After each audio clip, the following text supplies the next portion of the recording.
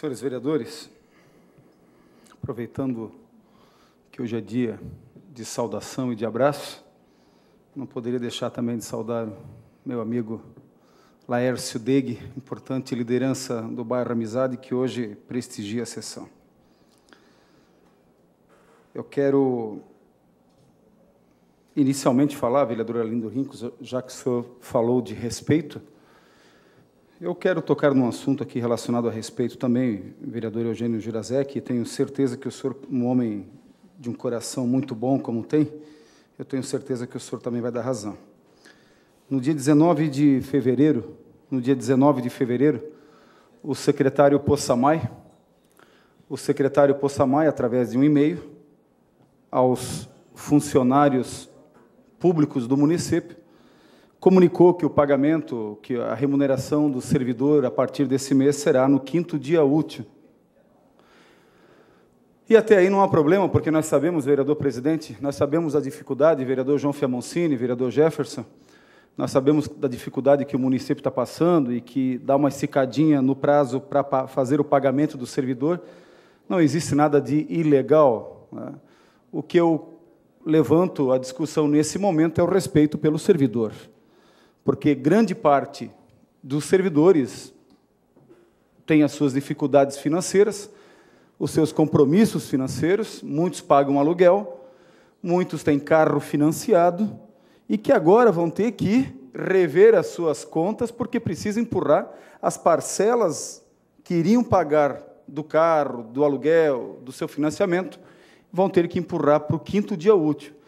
Eu tenho absoluta certeza que muitos dos vereadores, inclusive eu, já teve carro financiado e a dificuldade que se tem em mudar a prestação de banco, mudar a prestação de, de aluguel, e isso vai com absoluta certeza gerar um transtorno. E um transtorno ocasionado pela falta de respeito ao servidor.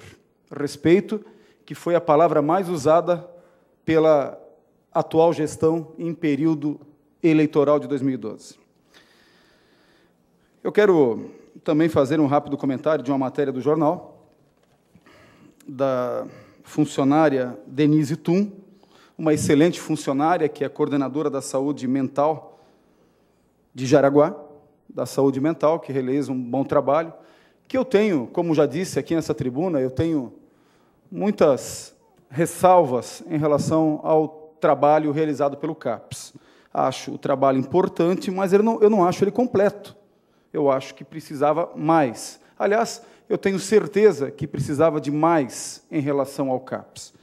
E eu falo isso em relação à matéria que ela divulgou, que ela deu essa entrevista, de forma muito competente, porque ela é conhecedora do, do assunto, onde ela diz que é, acordo para ampliar leitos psiquiátricos ainda não foi cumprido, desde 2013 um acordo pela Unvale entre todos os municípios da região, onde teria um acordo para aumentar os leitos, vereador José Osório, e nós somos autores de uma moção que foi lida no dia de hoje, mas que vai ser votada na quinta-feira, muito provavelmente, que faz um apelo, um apelo para que efetivamente esses leitos psiquiátricos sejam aumentados em número.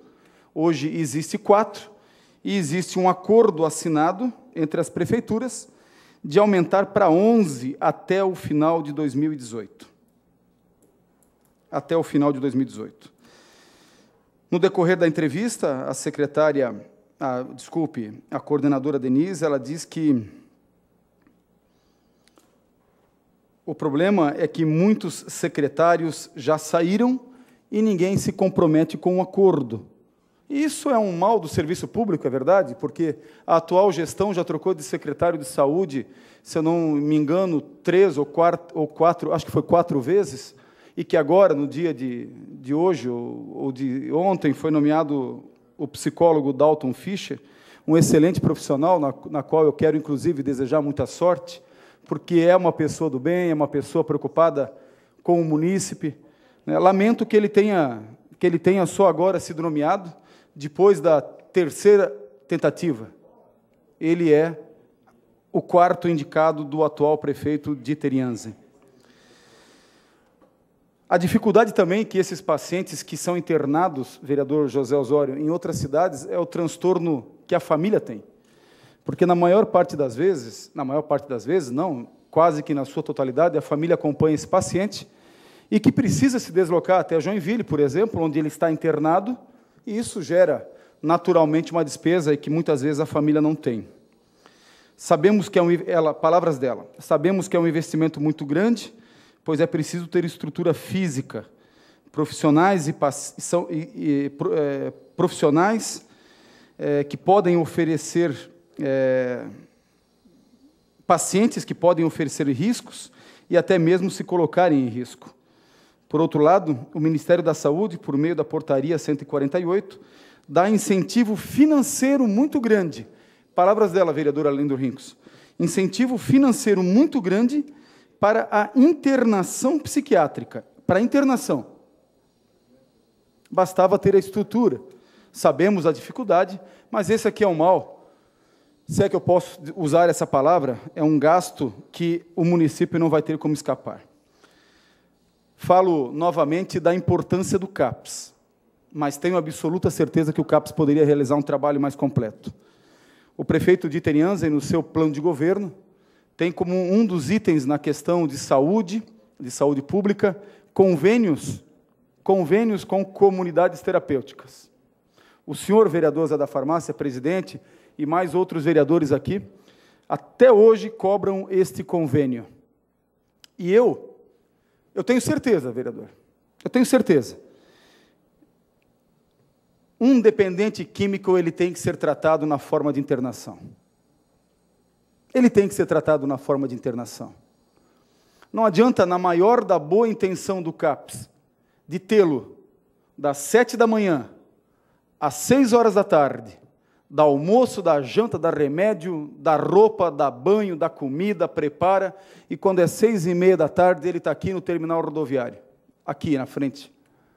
E qualquer um de nós vereadores aqui pode agora, nesse momento, nesse momento, ir no terminal rodoviário, ir aqui na estação, antiga estação de trem, que nós vamos ver ali dependentes químicos. E que muitos tratados pelo CAPS. Então, o trabalho do CAPS é importante? É importantíssimo, mas falta mais. Falta nós mantermos convênio para podermos oferecer um tratamento mais completo para esses dependentes, que muitos são adolescentes. E aí eu me refiro, aí eu me refiro e me reporto ao trabalho do Conselho Tutelar. Muitos adolescentes que ficam, na maior parte das vezes, aqui pertinho de nós, numa rodinha de amigos, no meio uma garrafa de Coca-Cola, e outra garrafa de vinho para fazer o porta aberta, para fazer o cuba, para se drogar, porque ali começa a porta de entrada para a droga mais forte em seguida. Então, volto a dizer, o trabalho do CAPES é importantíssimo, importantíssimo. Só que nós temos que fazer mais. Semana que vem nós vamos fazer uma moção de apelo, mais uma moção de apelo, que é o que nós podemos fazer, pedir, mendigar, implorar, gritar, pedir e pedir e apelar, que é o papel do vereador, né? que é o papel do vereador, para que nós possamos aumentar o número de vagas nos leitos psiquiátricos aqui do Hospital e Maternidade de Jaraguá. Hoje são quatro, que nós possamos aumentar gradativamente para que possamos oferecer tratamento 24 horas para esses dependentes. O senhor quer falar, vereador Eugênio? Nós, nós gostaríamos de ouvi-lo. Oh, Jair, obrigado pela parte. Mas, assim, eu também, a gente presenciou esse dia não um, um, um jovem de Garibaldi, ele surtou, ele quebrou tudo o CAPS. Então, eu concordo contigo, mas temos que ter uma estrutura para isso. Tu já pensou se uma pessoa dessa, dentro do hospital, surta e sai nos quartos arrebentando mangueira e, e, e tudo? Isso nós temos que pensar muito, porque nem todas as pessoas podem estar ali nesses, leitos. Porque já pensou mata uma pessoa lá dentro, quem é que vai ser o responsável? Então é, é um trabalho muito bom, mas tem que ser um trabalho muito bem feito, porque nós temos muitas pessoas com problemas que estão internadas em Joinville e Florianópolis, que não deu para deixar aqui. Agora, quem é que vai ser responsabilizar de botar uma pessoa que surta dentro do hospital? Eu não. Então, nós temos que fazer um trabalho muito grande, porque não temos nem grades na janela, não tem aquela pessoa é acabar de pular lá de cima e se matar aí daí. É, vereador, eu, eu, eu, eu, entendo o seu raciocínio, só que o que nós estamos falando de, de surto, quando ele está na. Eu posso completar, senhor presidente? Se me permite, só para completar o raciocínio. Quando nós falamos de surto e quando nós falamos de uma internação num leito psiquiátrico, ele fica, apesar de estar sendo tratado, ele fica sedado, ele fica sob, sob, sob tratamento químico, né? que na maior parte das vezes é a solução, mas que tem que ter muito mais do que a droga para combater a droga. Tem que ter o lado espiritual também. E aí a gente encontra isso na família, na comunidade terapêutica, mas que na maior parte das vezes ele fica, ele fica sob, sob tratamento é, de, de sedativos. É, o que nós estamos falando não é de internação, e sim de leitos psiquiátricos. A internação também não é diferente disso, ele fica medicado. Né? Na, próxima, na próxima semana, ou nessa terça-feira, eu vou pedir que nós possamos, quem sabe, ler e possamos votar, quem sabe, nesta quinta, para ganharmos tempo, essa moção de apelo para nós aumentarmos é, esses leitos psiquiátricos. Né? E vou até sugerir que seja um, uma moção de apelo coletiva de todos os vereadores para que nós possamos mostrar unidade e força nesta casa e possa sensibilizar os responsáveis por esse atendimento.